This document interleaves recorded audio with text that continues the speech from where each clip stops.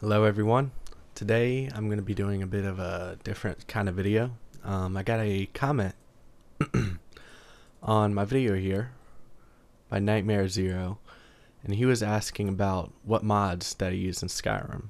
So the first part of this video is going to be going over all the mods that I use. Um, I could have typed them all out, but I think that would have taken quite a while. I have a lot of mods, and some of them are from Nexus Mod Manager, and some of them are in the Steam uh, community, whatever it's called. I, forget the name right now.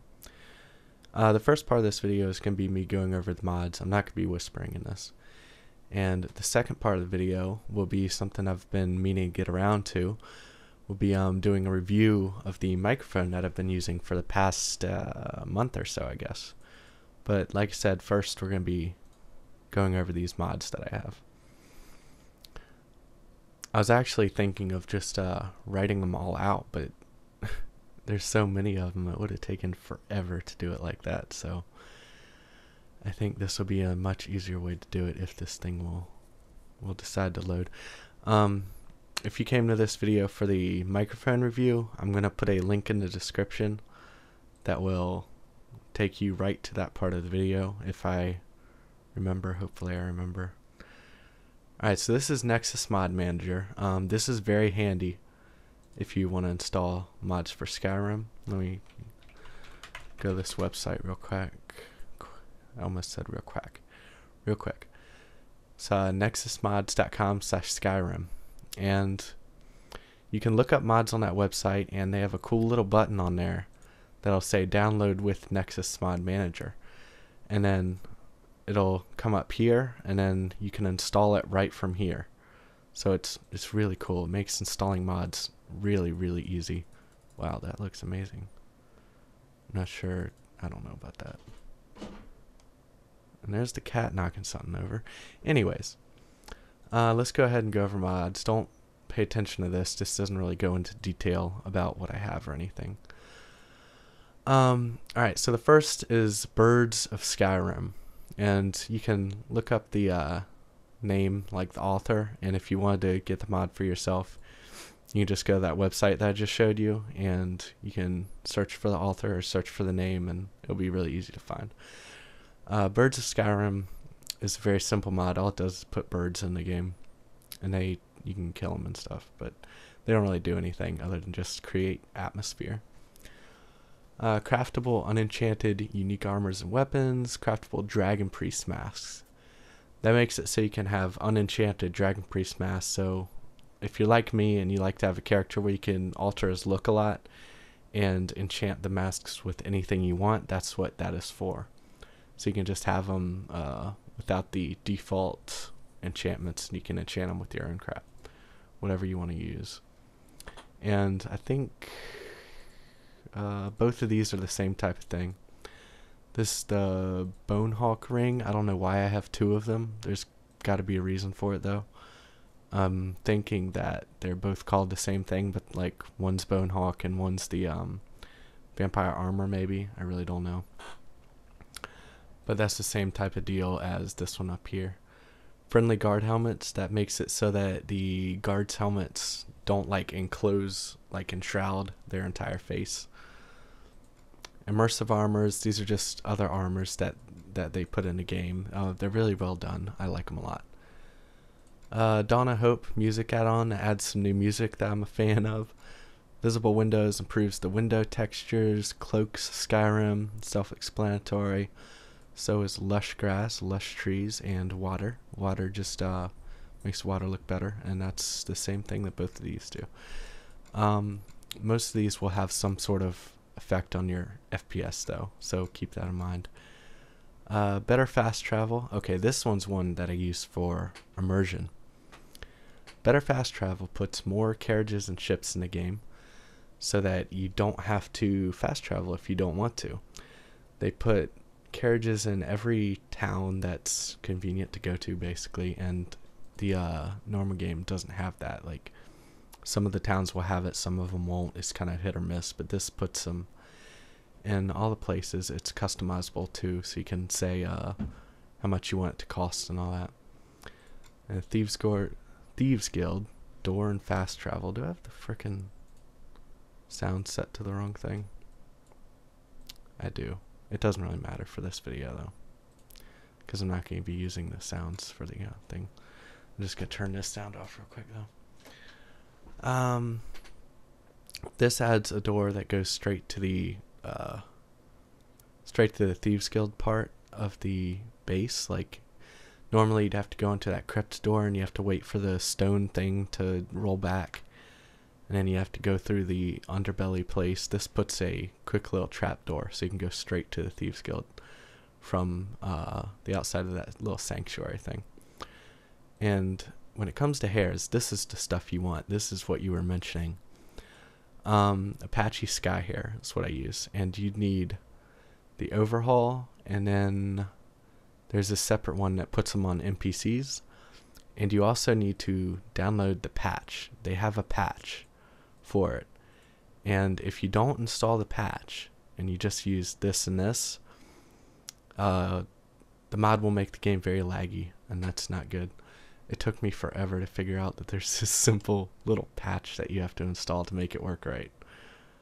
Uh, immersive thunder that makes the thunder sounds better. Lore-based loading screens. Kill them generals. Generals are no longer invincible.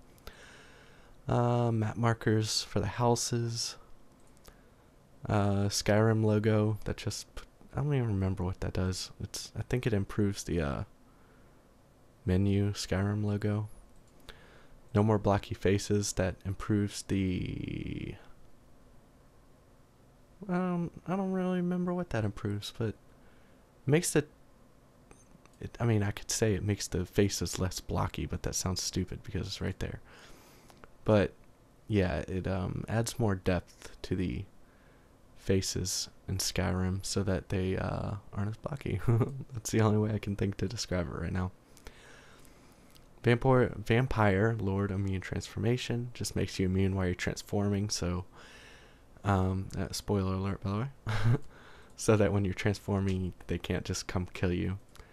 Vampire Lords can loot and activate. Self explanatory. Better females, that just adds makeup to the females, makes their face look more attractive. Uh, vampire armor. I think that's so you can make um uh craftable vampire armors. And I think it also adds cloth versions for uh for magic users. I'm not really sure though. Um, HUD, that just makes the HUD smaller, which I like. Quality world map just improves the textures of the world map. Sky UI. This is a big one that I use. Sky UI, I'll come back to that. Uh, realistic smoke numbers, self-explanatory. Sky UI is, uh, you can see it a lot if you watch my Skyrim videos already. It makes the UI a lot more interactive. It makes it so you can search for items. It makes it so you can do a whole lot of crap actually. There's so many features in that. Um, the main reason I use it is because it uh makes the UI a lot smaller. Like normally there'd be items in your inventory and you could only view like 10 items at a time before you have to scroll down. This one will make it smaller and more compact so that you can look at a lot more items at once. Uh, for this, you have to install Skyrim something. SKSE? Skyrim Script Extender. Yeah, that's right. SKSE. You would need that to run this. And I think that's the only mod I have that uh that does need that extension. I also use the high-res texture pack. These are the official add-ons from Bethesda. Um, they make the game look a lot better. Let's see if I got anything else on here that I haven't gone over yet. Oops, no, leave that on. I don't think I I forgot anything. Um, let's look in here real quick though. Uh, where is it? Yeah, you can see all my Games, that's right. Alright, so let's see here. Data files. Skyrim Workshop, I think that's... Um, how do you get to the things you have installed from the Skyrim Workshop? Subscribed. That's it. Subscribed. So you have to subscribe to them on the Skyrim, on the Skyrim workshop, to get them to uh to to work. Um, unenchanted Dragonborn items. This does the same thing as as this for the Dragon Priest masks. It just takes the Dragonborn items and makes them so you can makes it say that you can create them yourself, craft them, so you can put your own enchantments on them. And that is all of the that concludes the list of all of the mods that I use for Skyrim. Um, I actually had to go through all my mods and delete some of them because they just weren't um, friendly for Let's Play, some of them. Uh, but these are the ones I stuck with. The ones, they are the ones that I liked the most. Now Hearthfires and I think yeah, Dawnguard and Dragonborn. Those are all official expansions. I'm really not sure what uh, what the update is. Oh, that must be official too because it's from the same author as Dawnguard. So yeah, I don't know what's an update for. Must be an update for the simple uh, for Skyrim. If you want to know anything else about what I use on Skyrim, just ask. Leave me a comment. I might just respond to your comment and I might make a video responding to that comment. Um, just looking at all my games real quick. now, now let's go to the microphone real quick. Alright. Okay, so this is the microphone I got. I've been using it, I think, about a month, but that's a complete guess. They call it the world's quietest studio microphone. Let me check the time real quick. 11:57. Cool. They call it the world's quietest studio microphone, and I've come to see that it is actually pretty quiet. There's still some background noise in ASMR videos, and the only reason I can uh, the only reason I can think for that being so is because I am whispering. And when you're whispering, you have to crank up the uh, the volume when you're editing these things, or your voice will just sound so soft. And you have to do that while still keeping a distance, certain distance away from the microphone, so you don't blow into the mic too much, and it makes like a breathy sound that I don't really like, because it like pops your ears if you're uh, or not pops your ears, but it buffers your ears if you're listening with headphones. So I've come to see that it is pretty quiet. It it's very quiet. It's a lot quieter than my blue microphone was. It is a professional grade studio microphone. And this is actually a bundle pack, and this is the way that I bought it. It comes with the microphone, and there's a picture of it right there. It's a uh, mono microphone, by the way only picks up from the front. There's no um no going side to side and this one like you can with the blue microphone which is a stereo microphone because it will sound the same no matter what.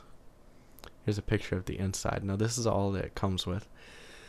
Um, the microphone cable, if you're gonna plug this into your PC to record like I do, you will need a preamp and what you do is you plug the microphone cable from your microphone into the preamp, and then there will be a spot on the back where you can plug the preamp into your computer. And then that makes it very easy to record your voice. Um, now, the only drawback with that is here I have my TruStudio program, which is for my sound card. And on here they do have something called Crystal Voice, which is supposed to add noise reduction, which is um it cuts uh, yeah, it's pretty self-explanatory actually. Um if you listen to my last Minecraft video where I was using my headset microphone, this is the reason I was using it is because it has noise reduction and that's what cut out all the or at least a good amount of the background noise. And because you're plugging it into the USB port, it doesn't let you use the noise reduction on this software, which is the only drawback, really. Uh, there might be a way to do that, like a, a MIDI to a to a line in cord. I, I don't know though. Um, but this comes with the this cable, the microphone, and a pop filter, which the pop filter uh, is screwed into the shock mount, which is very nice. And the only thing you would need to buy is the boom stand and the preamp. And my preamp came with a USB cable, so it was very easy to put into the computer and all that. So, um, 229 altogether, kind of pricey, but in my opinion, if you're gonna be doing videos like this, it is well, well worth it. Uh, it's a great microphone. Just whispering into it all the time doesn't really do it justice because I feel like you can't really uh, can't really uh, give a good idea of what the microphone really sounds like when you're just whispering because it, it, just doesn't pick up other things. It doesn't uh, sound as good as when you're using your normal voice. You can't really notice the difference as much. But I've been very happy with it, and that concludes everything that I wanted to do in this video. So thank you for your comment. Nightmare Zero, that's it. Thank you for your comment. It allowed me to uh, finally do this microphone review that I've been wanting to do. And obviously, for the review, you can hear my voice right now. And I am also, I don't know if you can see this right here. Uh, I don't know if it pops up on your screen, but it's on my screen. This is Bandicam, and I'm rec- I record all my videos with Bandicam rather than using Audacity. And I know a lot of people frown on that but I found there's really not that much of a difference in quality for me. And when I record it with Bandicam, I don't have to worry about matching the video up with the sound. It does it automatically. So that's really nice. It takes out a lot of um a lot of time and frustration trying to get everything to match up correctly. So thanks for watching guys and I will try to make my video my next video Skyrim and then do a Dark Souls video after that because I know that I've been lagging behind on this too. I've been very into doing Minecraft videos uh, recently. So thanks for watching. Stay tuned. And I want to say goodnight for now, but I'm not whispering in this, so you're probably not being put to sleep by it. But I will see you soon.